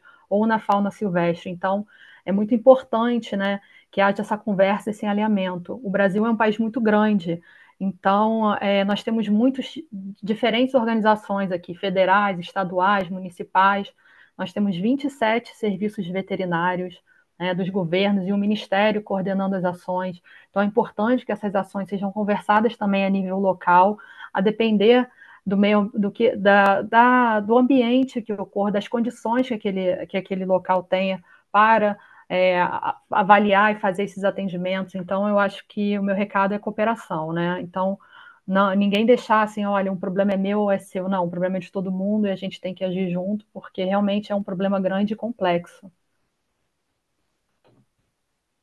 Muchísimas gracias, Daniela, por, por tu respuesta. Pues eh, les informamos que tenemos bastantes preguntas que, nos han hecho nuestros participantes, que por el honor al tiempo no las vamos a poder realizar. Pero no se preocupen, eh, les informamos que tanto las presentaciones como las respuestas a cada una de las preguntas les será enviada a sus correos electrónicos y también será cargada en las páginas para que puedan ser, em, puedan ser descargadas con, por ustedes, al igual que este webinar. Dicho esto, pues em, les recuerdo que nuevamente agradecemos a cada uno de nuestros panelistas, a cada uno de los colegas de la FAO y sobre todo a ustedes participantes por haber estado conectados en esta gran iniciativa para seguir enfrentando la crisis de influenza aviar en nuestra región. Les, les deseamos una muy buena tarde y les seguimos instando a trabajar en conjunto para el control de esta enfermedad transfronteriza. Muchísimas gracias a todos y a todas y que tengan una muy buena tarde.